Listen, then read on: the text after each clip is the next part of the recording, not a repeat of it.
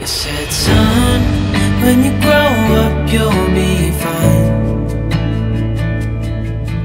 I know you've got questions on your mind. Life is gonna